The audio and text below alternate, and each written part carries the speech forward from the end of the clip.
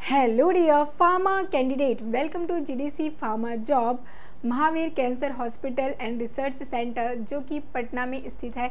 यहाँ पर आई हुई है फार्मासिस्ट की वैकेंसी तो चलिए जानते हैं किस प्रकार से आपको अप्लाई करना है, क्या कुछ रहने वाली है लास्ट डेट क्या कुछ रहने वाली है सैलरी और कौन से स्टूडेंट रहने वाले हैं एलिजिबल सभी चीज़ों के बारे में बात करेंगे इस वीडियो में। तो जैसे कि आप देख सकते हैं, Mahavir cancer institute and research centre की ये ऑफिशियल वेबसाइट है, जिसका लिंक भी आपको डिस्क्रिप्शन बॉक्स में प्रोवाइड कर दिया गया है। तो जैसे आप यहाँ पर अनाउंसमेंट्स यहाँ पे अनाउंसमेंट्स दिया गया है, वहाँ पे आएँगे। यहाँ पे देखिए, दिया गया है application are invited for different post within fifteen days from the date of publication means यहाँ पर आपको विथ इन फिफ्टीन डेज़ में इनको आपको अप्लाई करना है। इसकी लास्ट डेट है, सिर्फ़ फिफ्टीन डेज़ की वैलिडिटी यहाँ पर रहने वाली है। इसे आपको जस्ट क्लिक करना है। ये जो नोटिफिकेशन है, सोलह पाँच को आई हुई है। इट मीन्स अभी भी आपके पास समय है कि आप इसे अप्लाई यहाँ पर कर सकते हैं। ठीक है? यहाँ पे देखेंगे, ये ऑफिशियल जो पीडीएफ है, वो ओपन हो जाएगी।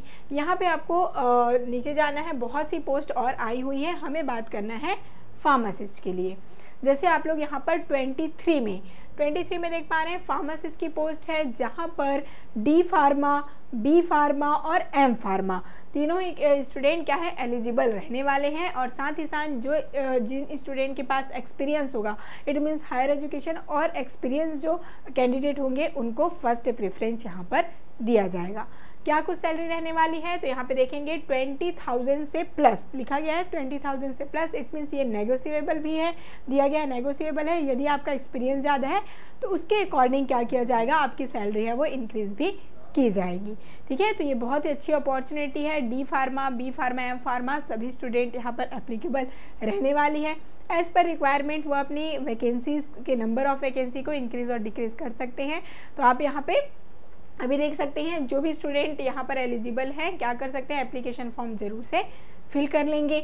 जिसके लिए यहाँ पे दिया गया है एड्रेस और सारे प्रोसीजर इस पीडीएफ है। यहाँ पर से आप लोग चेक कर लेंगे। इस पीडीएफ का भी लिंक आपको डिस्क्रिप्शन बॉक्स में प्रोवाइड कर दिया गया है। ज़रूर से एक बार डाउनलोड करके सभी चीज़ों को आप रीड यहाँ से कर लेंगे।